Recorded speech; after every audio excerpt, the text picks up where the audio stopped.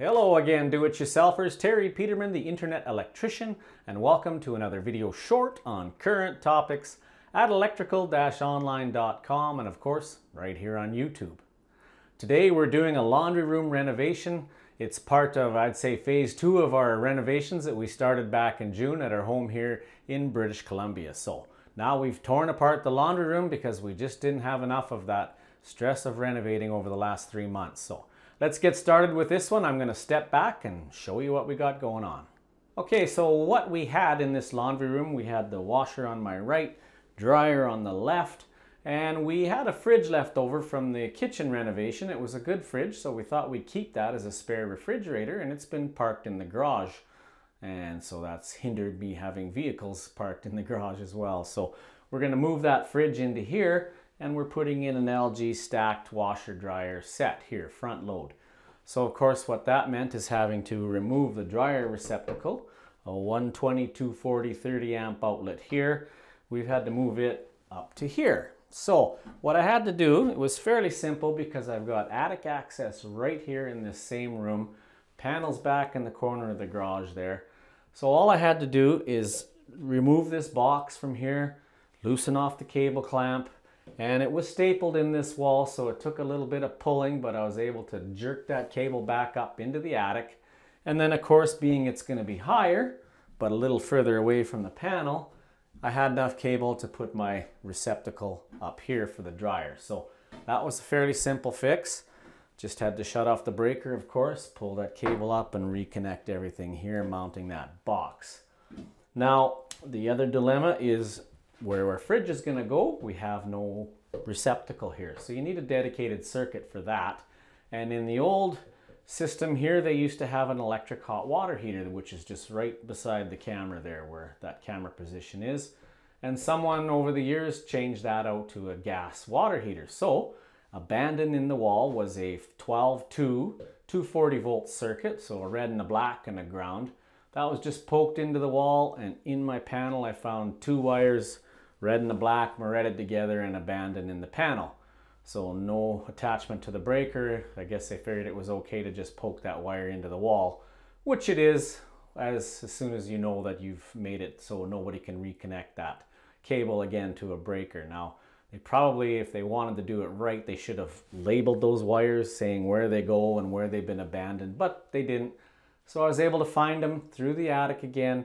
I could see that red cable going down into the wall and I looked behind the water heater and there was a hole in the drywall where before the cable must have just poked out and tied into the junction box on the hot water heater. So I was able to grab a hold of that cable and with a lot of tugging and pulling, which I'm sure I'm going to feel tomorrow, I was able to get it loose from the staples and pulled it out and there was no damage at all to the jacket. So those staples must have just popped or I was able to pull them through without harming the jacket of that cable. So it's gonna, it's just hanging out of the attic access. I'll be showing you that. I'm gonna be able to put a junction box on that, tape off one of the conductors to show that it's now a neutral, and I'll probably use the black for that, tape it off as a white wire. Same in the panel, tie it to the neutral bar.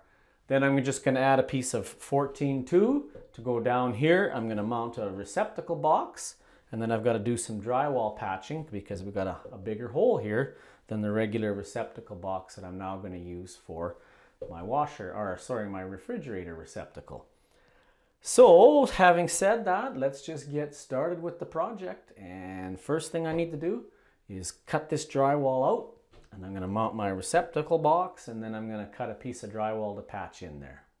All right, so I had a little piece of drywall left over from the other part of our renovation. So I've marked it out here the patch.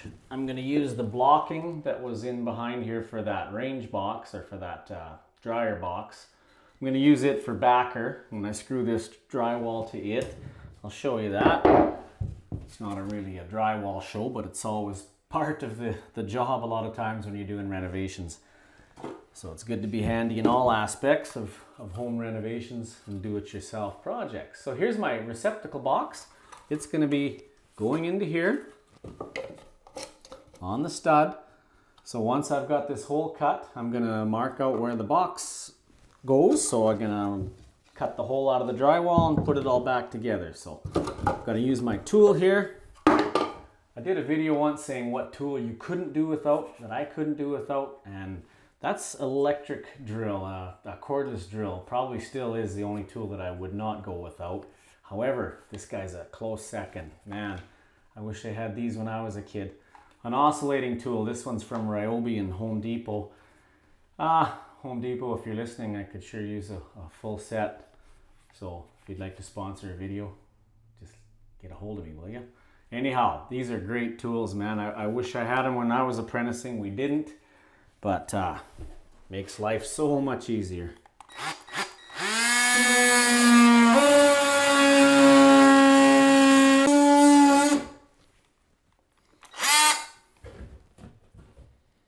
Now before, the way I'd have done that is with a keyhole saw or utility knife, scratching and clawing and busting out drywall. Look how much easier this is. This Half Moon blade is a drywall saw blade. They make blades for all kinds of applications. Just make sure I get those corners.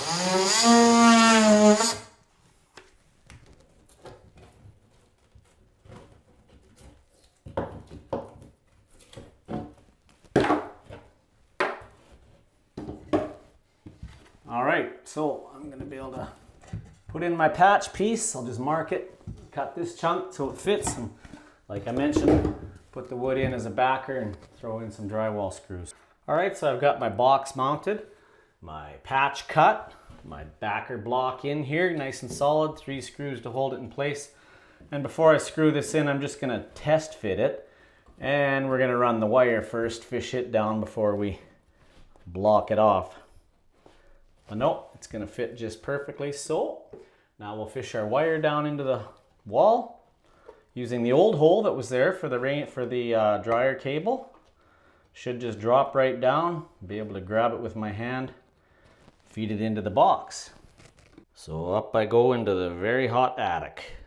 Okay, just got back down from the attic. You can see one end of my cable hanging here through the attic access. And I've got it coming out of the wall here, so I'll just have to feed it into my box and then make a junction box splice those two cables together up in the attic.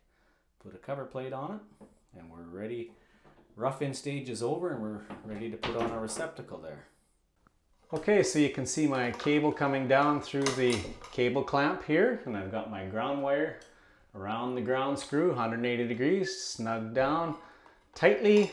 I got my drywall piece in place. I just got to throw a couple screws into it. Tuck these wires back in and we're ready for the receptacle after we're done patching and painting in here.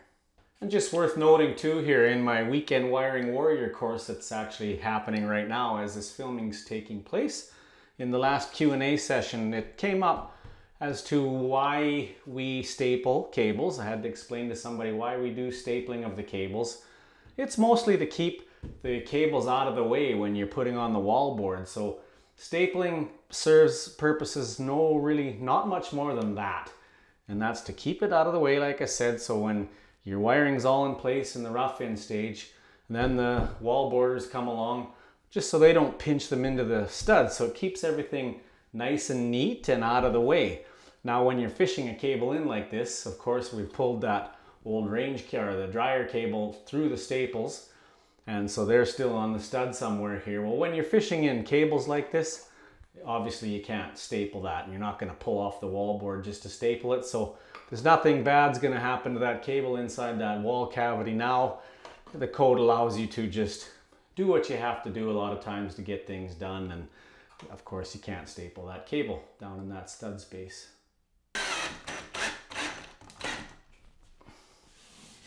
All right, ready for some patching. Okay, so you see I've put the cables into an old junction box that I just had laying around, so I'll make use of it. It's just gonna be stuck up here on the one of the trusses in the attic. Make my splices, I'll put a cover plate on it. I'm even gonna mark that cover plate as to what circuit it's, it is and where it's fed from and where it's going. I'll show you that after I'm done. I did change my mind here because I had a black and a red 240 volt cable here that I'm gonna go back to 120 with. I said earlier I would take the black cable and tape it white, the black conductor I should say, but when I got thinking I might as well have white to a red that I've taped as a white, and I use just white electrical identification tape. And then my black to black will be fairly easy for someone down the road to figure out what's going on. We got black to black and a white to a red that is now taped white as our neutral. So I'll do the same, of course, in the receptacle box and the same in the panel. So I'll just finish making these splices. I got my ground twisted together.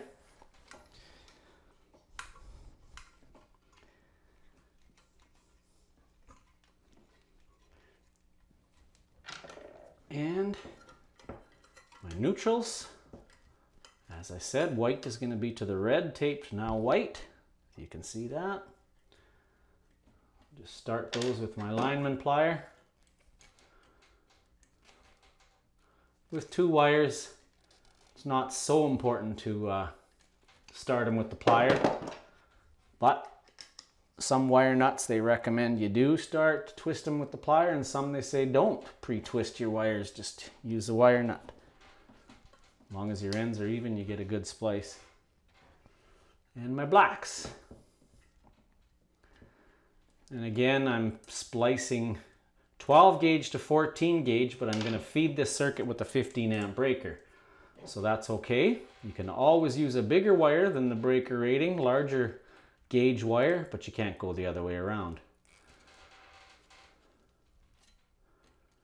And also, you may notice that the insulation on my 14 gauge cable is actually thicker than on the 12 gauge cable. And that's because I had laying around again a piece of NMW, direct earth burial cable. I was out of 14 gauge NMD, non-metallic dry, so I used the Cable that's suitable for direct burial for wet locations. Now again there, you can always go one way but not the other. You can use a outdoor cable inside, but you can't use an inside cable outside. Makes no difference really, just that the jacket is thicker and more, more uh, UV resistant and it's just thicker insulation on both the conductors and on the outside jacket. So I'll tuck these into the box.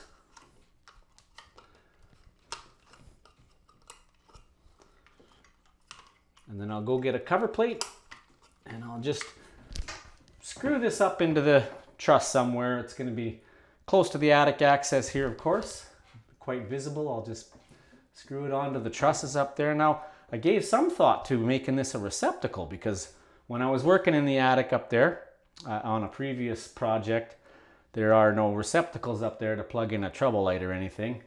However, there's another convenience outlet just below me here, below the attic access. So I thought rather than have a receptacle up there, when you're up there, you're always going to have the door open, the attic access open, and I can just plug into that receptacle for, it's another five feet away from here. So no problem there, but it wouldn't have been a bad idea to make this a receptacle up there, a usable outlet for, like I said, plugging in a, a utility light.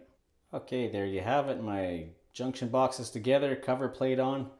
And I labeled that plate just to avoid any confusion for someone down the road. Main panel circuit number seven is where I'm going to feed it from. Laundry room fridge. I'm going to go screw that up into the trusses. And when I mentioned earlier that you don't have to staple it inside the wall when you're fishing a cable, up here where you do have access, you definitely want to staple your wires all neatly to the sides of the trusses and make sure they're out of the way of the insulation and not going to get damaged in any way. So we'll do that, staple those cables all into place and mount that box. Then I'll go show you what we're doing in the panel. So here we are inside my panel and you can see the black and red conductors that have been marretted together here. That was the old water heater wires.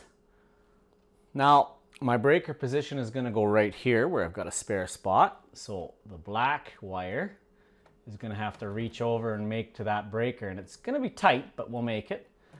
But the red wire would not, the one we're going to identify as a neutral with white tape, it wouldn't have made it down here to this neutral bus. So we're going to have to run it right down direct route and make it to the bottom of the neutral bar on that side. And then my hot will come over to this side to the breaker. I'll show you a close-up when I get that uh, red wire identified as a white and show you where it's attached.